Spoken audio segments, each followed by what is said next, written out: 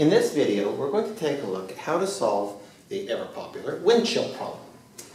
This problem is longer and it just looks more complicated than it really is. The trick with all these problems is to take them a little bit at a time. Solve a little bit at a time and they're not bad. Okay, so here we have four terms. First one, easy enough. Um, second one, okay, we're going, we're simply going to the term is plug and chug. You put the numbers in and you solve it.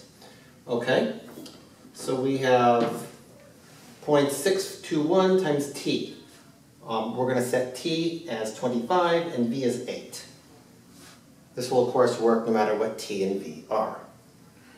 Okay, so 0.621 times 25. This gives us 15.525. Okay, and we're going to do this for our next term. Now this is where a lot of students freak out. They notice, oh, we have an a crazy rational exponent up there. How are we going to solve that? Um, this is something you want to use a calculator for, either a, a decent uh, scientific calculator. For this class, I would not spend over 10, 15 bucks.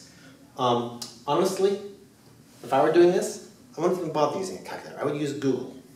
Use Google as a calculator. Google do, does great for basic calculations. I highly recommend it.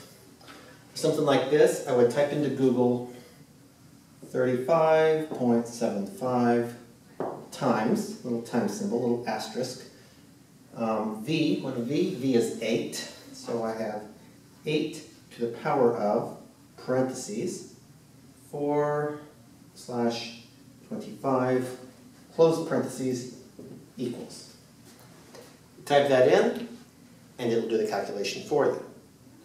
Um, very handy.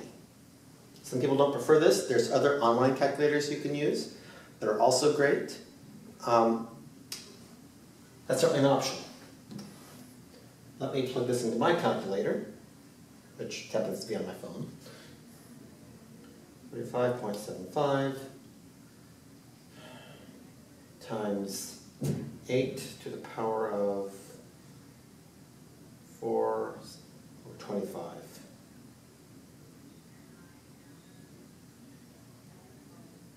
Power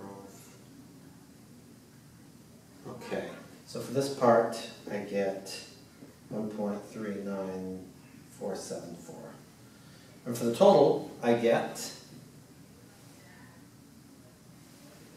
negative 49.862.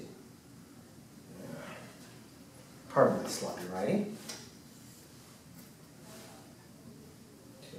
Now, I'm only writing out three digits here of accuracy, but in practice, I do not round off my numbers until the very end. I've taught physics for a long time.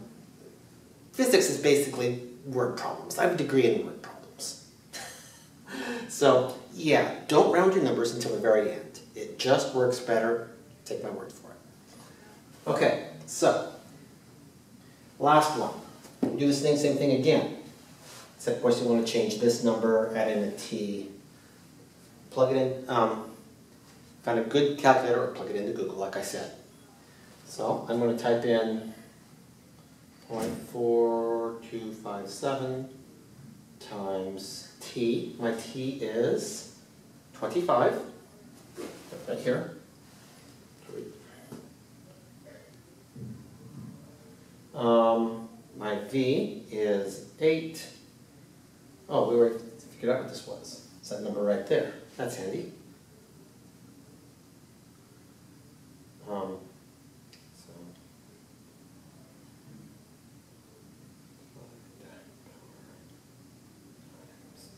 Okay. So for this one, I get 14.906. Of course, we have a lot more decimals than that. They aren't all necessary or accurate. We know it within three decimal places. Um, two, actually. That's our, let's not, let's not worry about that. Um, just follow the directions on the problem for what level of accuracy they ask for in the end. Until then, save your digits. Okay, so I'm going to add up this number, this number, this number, and this number. Keep in mind, this one's negative. So you just add them up at this point, and that's how you solve the problem. So I get thirty-five point seven four, and that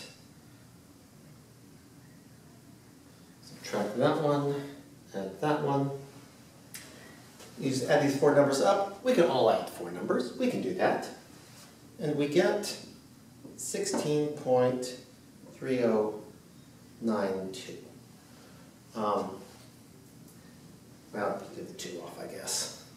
And that, that'll probably round that, just round that to point three. But remember, with these kind of problems, they look intimidating.